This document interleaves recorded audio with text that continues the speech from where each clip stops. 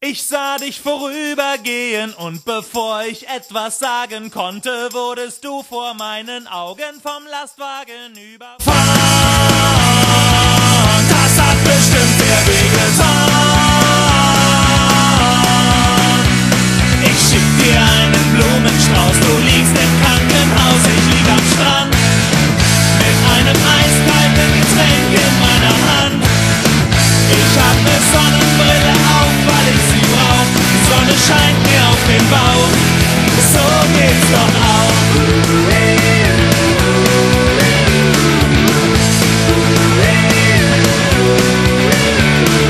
Ich sah dich zur Arbeit gehen, 30 Jahre warst du deiner Firma treu, jetzt haben sie dir gekündigt, fristlos nach all dieser Zeit.